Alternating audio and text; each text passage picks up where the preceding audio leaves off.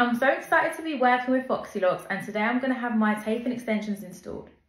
I'm going to be using colour Bondi in 22 inch and this is a rooted colour just because I wanted more of like the balayage effect where I have darker roots slightly on the top and if you can see this is a perfect colour match.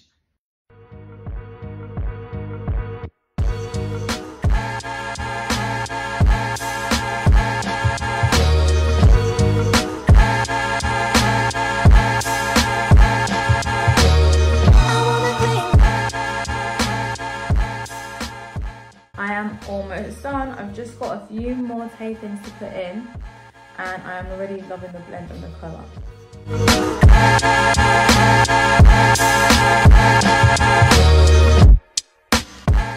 Hey guys, this is the final look. I absolutely love my hair.